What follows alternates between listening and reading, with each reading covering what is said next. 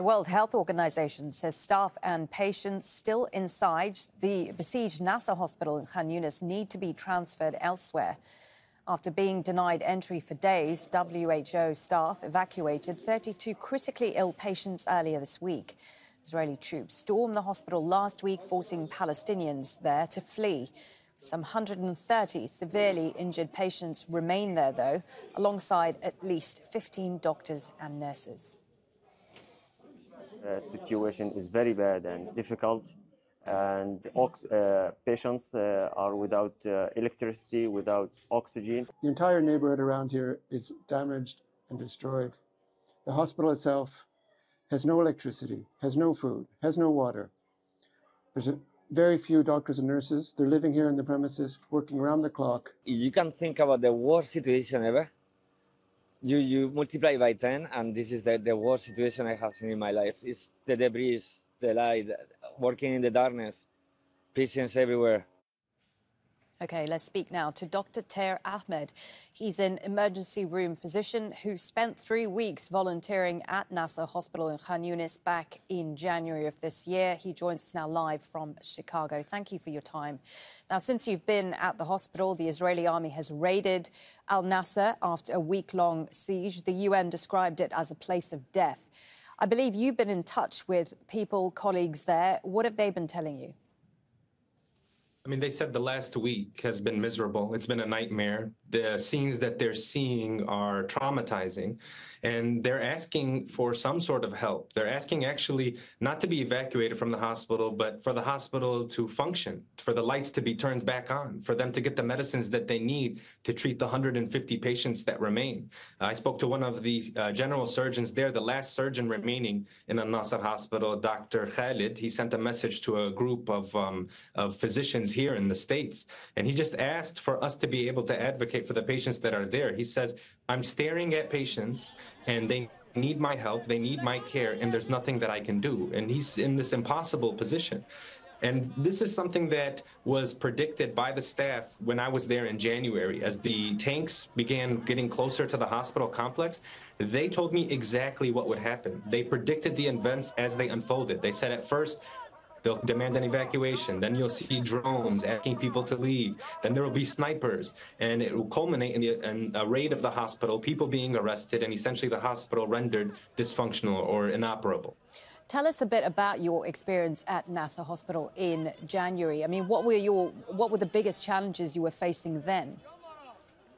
It was it was incredibly overwhelming. I mean, Nasser Hospital, after Shifa was rendered inoperable and raided and under siege, Nasser was the last remaining big hospital in the Gaza Strip. It was one of two referral hospitals. So the entire Gaza Strip was depending on Nasser to receive patients, but also to be able to run multiple operating rooms at the same time. I remember my first day there, just walking through the emergency department and being overwhelmed by the sheer volume of people that were there. Keep in mind, uh, Khan Younis at the time in January was the center of all military operations for the Israelis. And so we were getting every single day multiple uh, waves of trauma patients coming through the emergency department and, and, going into the operating room. It was also people who were sheltering in and around the hospital. I mean, tens, 10,000 people were sheltering in and around the hospital. You saw tents everywhere. And we had supplies that we were using, and we were very short on very necessary things, but it was still operating and functioning. It was this beacon of, of, of health for the entire Gaza Strip. And to watch it over the course of several weeks, slowly but surely be, you know, have the same fate as many of the hospitals in the Gaza Strip. It's it's heartbreaking, but it's also devastating. I mean, the healthcare system has collapsed but Nasser Hospital uh, shutting down, it's a catastrophe. People will die because they're not going to get the treatment that they need. Nasser was so overwhelmed and so packed with people while I was there. We were treating patients on the floor. Um, we were looking for mattresses to use for patients because there were no more hospital beds. And so it's it was already a tragic scenario, but the hospital, the physicians and the nurses at Nasser were doing an incredibly heroic job trying to manage. Now this has become a horror story. It's become a nightmare. I mean, it's just, it's really depressing to think about. And now I'm concerned about if Rafah hospitals will be next. When you were there at this hospital, did you ever worry about your safety?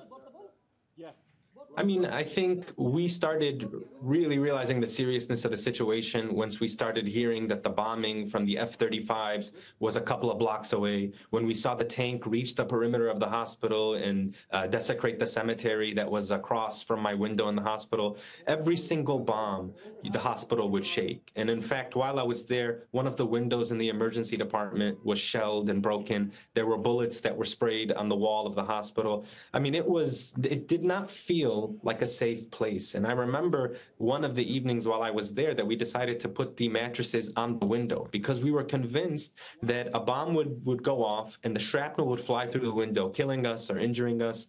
And many of the physicians there had been at previous hospitals. They had fled from Shifa or they had come from uh, Al Auda Hospital. And they told us, I mean, they said that this is this is kind of the script that plays out is the military starts to get closer and closer to the hospital and then the hospital gets attacked. And i remember uh, naively thinking no i mean i don't think the hospital there's no way that the hospital be attacked. I mean i think shifa was such a, a colossal mistake. It was so sad to see what happened at shifa. It's not going to happen to nasser but they but the doctors there were right and i was wrong. Um, it was it, it was definitely a concerning situation while i was there and after i left it only got worse Israel uh, repeatedly making the point that they target hospitals in Gaza because Hamas operate from them. Did you see any evidence of that? I, I, saw quite the opposite. I saw many, many kids in these hospitals. I saw many injured and wounded children, pregnant women. I saw people that were sheltering and were really scared of the consequences of war. I didn't see anything like that. And I want to just point out that these hospitals are so important for the livelihood of the people in the Gaza Strip. It's not just about treating the really injured people or the sick people. It's about having a place where people can shelter, people can have some some access to some water, and having uh, every now and then some distribution of food. So uh, I think that's the I think that's the way to frame what these hospitals are actually doing. They're they're providing a refuge for people who are scared, who have lost their homes, who have lost family members, who are looking for food and water, because that's exactly what I saw at Nasser. Dr. Thaer Ahmad, thank you for sharing your experience, an emergency room physician who spent three weeks volunteering at Nasser Hospital back in January. Thank you. Thank you for having me.